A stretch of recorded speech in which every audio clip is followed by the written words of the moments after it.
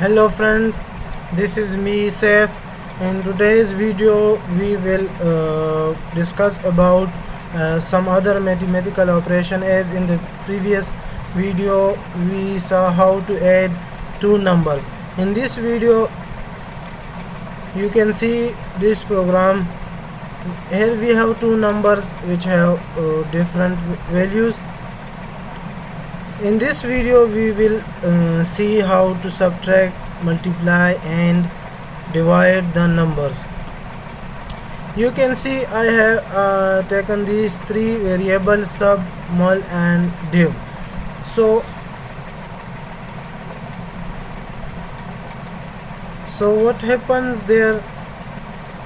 To this variable sub I have assigned num1 minus minus num2 so what actually happens uh,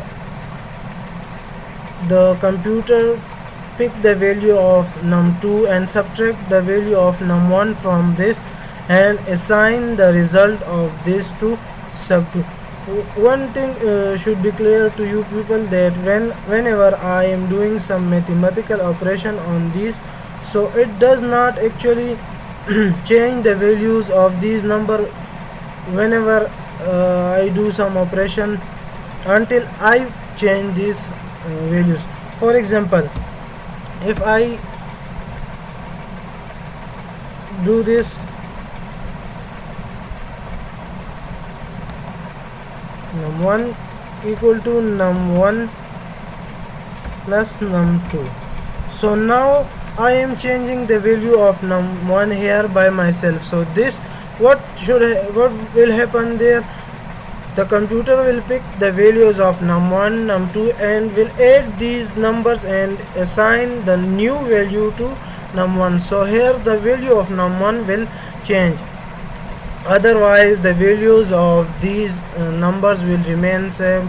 Whatever operation whatever uh, mathematical operation I do on these number. So here I want to print the result of all these mathematical operations of subtraction multiplication and division.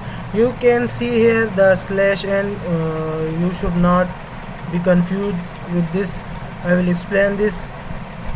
First of all I will compile and run this program.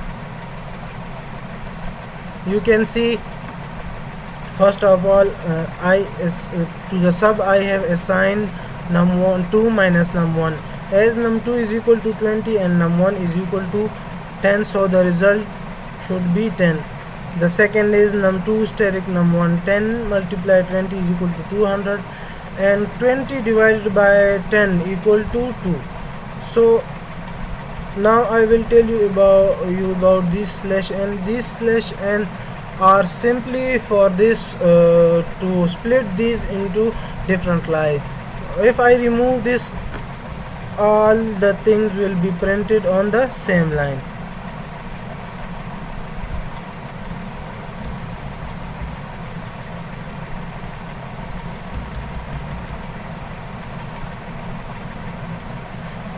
You can see that all the values are printed on the same line. So to print all these on different line I put there the slash n into the program.